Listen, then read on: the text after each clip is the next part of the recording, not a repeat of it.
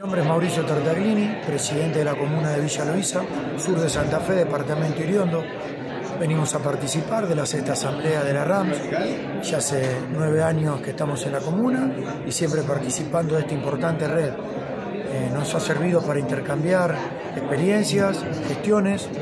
Eh, sabemos la importancia que tiene el cambio climático y el cuidado del medio ambiente en la agenda social y política.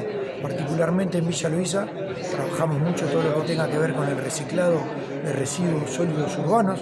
Últimamente, como novedad, hemos instalado un servicio de bicicletas públicas en Villa Loíza de manera gratuita para los habitantes y los abonados al programa y más que prestar un servicio tiene que ver con el mensaje que esto da con respecto al cuidado del medio ambiente y también a los beneficios que trae a la salud.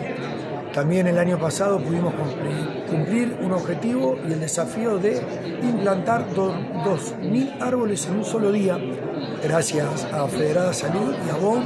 La verdad que fue una actividad muy linda que llevamos en conjunto con todas las instituciones del pueblo intermedia y los habitantes que nos acompañaron.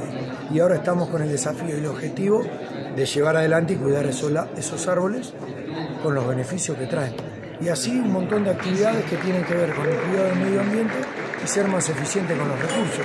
En Villa Loíza estamos muy comprometidos y queremos que siempre esté primero en la agenda política todo lo que tenga que ver con esto. Muchas gracias. ¿eh? A ustedes.